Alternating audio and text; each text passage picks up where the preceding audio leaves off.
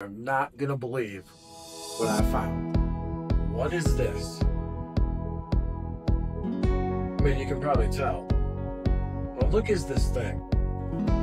This is a 1960s Otto Bock full wooden knee. Look at the detail on that.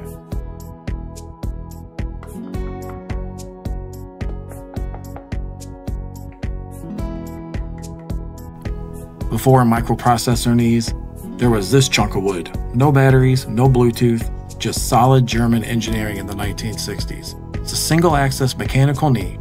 Inside, there's a friction system that slows the leg swing down so it didn't flap out of control. Sometimes, if you were lucky enough, it had a rubber bumper to help it snap back straight.